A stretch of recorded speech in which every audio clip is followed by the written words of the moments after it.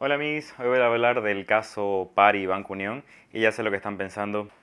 eso ya pasó de moda, eso fue hace como dos meses y, y sos negro. Ya, ya sé que me atrasé un poco, pero lo que pasa es que cada semana había un nuevo plot twist en esta novela, que es Bolivia, donde la víctima somos nosotros, los bolivianos. ¿Vieron que cada año el país tiene un antagonista?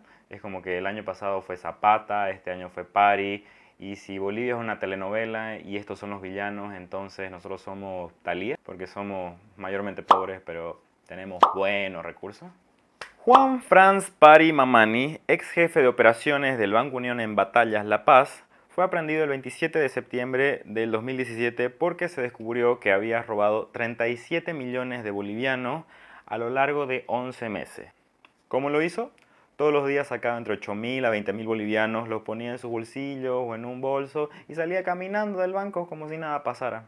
Él justificaba el dinero que sacaba diciendo que era para un cajero en batalla, el cual no existe. ¿Qué hizo Pari con la plata? Empezó a vivir la vida loca hacía las brutas chupas, se iba de viaje a Miami en avión privado, le compró un Mercedes a su corteja. ¿Qué, ¿Qué, se siente tener el auto más cabrón de Bolivia, amor? No lo creo porque no, nunca me subí semejante bicho de auto. No, nunca nadie se ha subido a semejante bicho porque es único, gorda. Y bueno, por esto no, todavía no caigo, déjame caer. Mucha cosa. O sea, Pari era el Justin Bieber boliviano. Y después de toda esta opulencia, el Banco Unión dijo, hmm, hay algo raro. Después de que lo arrestaron, se reveló que había movido dinero a China, invirtió dinero en un boliche con sus compañeros de colegio, la policía allanó su casa, incautó sus autos y arrestó a su familia. Y es que Pari estaba viviendo el sueño americano, que al parecer está hecho de varios sueños bolivianos. Juan Pari ahora está en Chonchocoro donde dio la siguiente declaración. Nunca van a pillar el resto de la plata, porque probablemente la escondió cuando estaba Yema. Y luego continúa. Y si me arrepiento de algo, me hubiera gustado estar más alejado de mi familia. O sea, ya estaba bastante alejado, pero me hubiera gustado estar más alejado. Seguro para que no le manguen. Ya me imagino a sus tías pidiéndole prestado unos milloncitos, porque todos tenemos parientes así. Su novia, que se llama Luciana Coñola, que es argentina y obviamente estaba con él por amor, ahora se encuentra en la cárcel de mujeres en La Paz y dio la siguiente declaración. O sea, yo no sabía nada, yo le decía, nene, ¿de dónde sacas tanta guita? Y él me decía, callate, nena, de negocios, ¿de dónde más? Y yo decía, arre, che, Susana, Moira, casi ángeles, no sé qué más dicen los argentinos.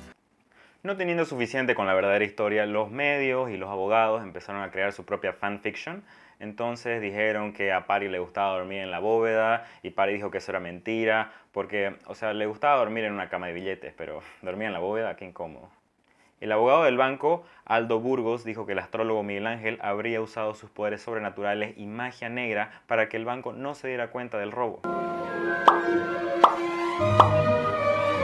Luego, Juan Carlos Gott, su ex socio, dijo que Paris sufría de una enfermedad terminal, entonces por eso actuaba tipo ¡YOLO! Después que salió el caso a la luz, Paris desató un frenesí entre todos los bolivianos por lo absurdo del caso. Fue el disfraz de Halloween más popular de este año y seguro que después Paris saca su propia fragancia.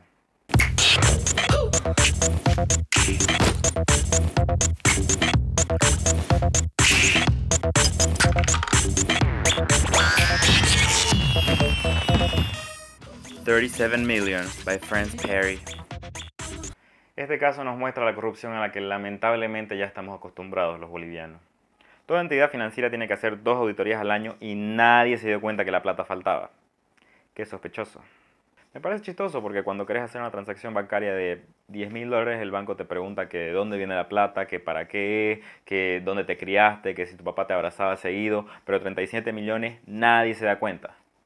¿Ustedes piensan que este señor es la mente maestra? No, Pari aprendió el método de robo de otros peces más gordos, solo que como buen millennial lo subía todo a Instagram.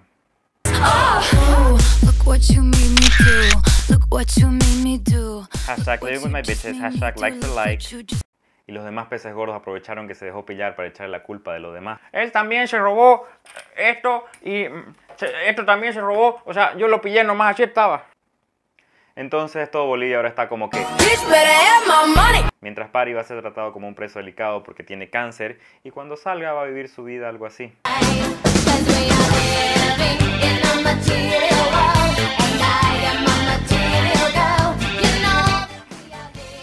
No se olviden de darme like y suscribirse.